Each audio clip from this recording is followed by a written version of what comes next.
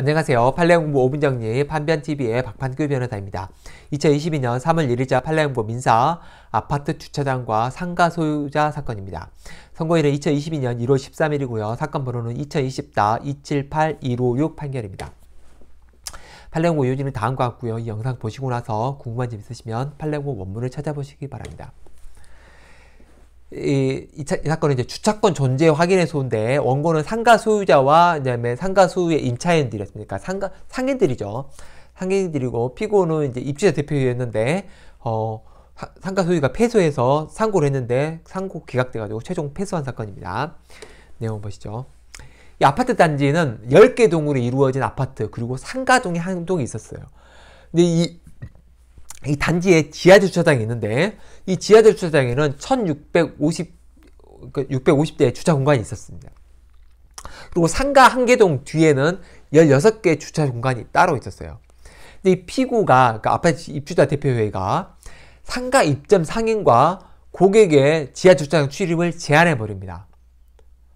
어, 안 된다. 니네는 들어올 수 없다. 그래서 이 상가 입주자들이 아니 우리도 이용하게 해달라. 우리도 아파트 전체에 그, 그 약간 구분 소유자 중에 한 명이니까 그러니까 우리도 지하 주차장 이용 권리가 있다라고 해서 피고를 상대로 지하 주차장의 이용 방해 금지 청구를 한 사건입니다.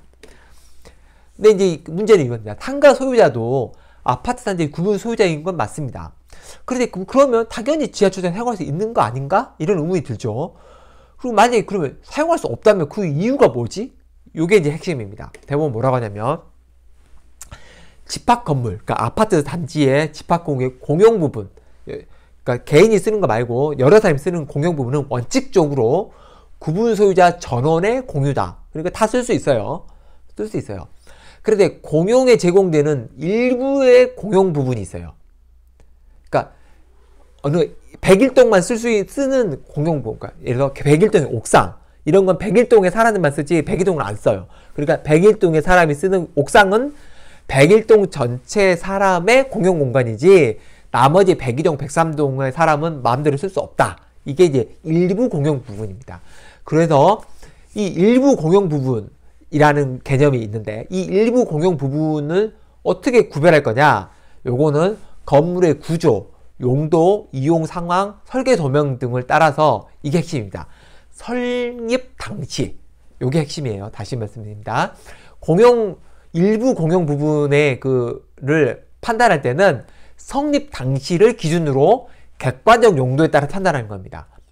주관적 용도가 아니고 그 다음에 나중에 그 사용에 따라서 바뀌는 게 아니라 성립 당시의 객관적 용도에 따라서 일부 공용 구조인지 아닌지가 판별이 끝나버리는 거죠. 그리고 이 사건을 보니까 상가 상가와 아파트 10개 동은 완전히 구조로 분리게 돼 있어요. 그래서 엘리베이터도 따로 쓰고 지하 주차장에는 상가로 가는 엘리베이터가 없어요. 이 사건에는 없고 그 다음에 외관상으로 완전히 분리돼 있고 그 다음에 상가에 있는 뒤에 지상 주차장은 쓸수 있어요. 제한되지 않아요. 그리고 지하 주차장에는 10개 동의 아파트로만 통하는 출입문만 있고 상가 연결은 안 되고 이런 거기 때문에 대법원은 이 지하 주차장은 아파트 10개 동 주민의 일부 공용 공간이지 상가동의 상가동의 사람은 이 일부 공용 부분을 쓸 수가 없다라고 보는 겁니다. 성립 당시부터 이, 이 아파트는 성립 당시부터는 다 이 지하 주차장은 아파트 주민들을 위한 공간이 맞다라고 판단한 거죠. 이 사건은 옥상정원 사건과 유사한 사건인데, 어, 옥상정원 사건은 이제 그 이전에 제가 영상 올려놓은 게 있어요. 한번 보시고, 이 사건하고 동일한 사건입니다.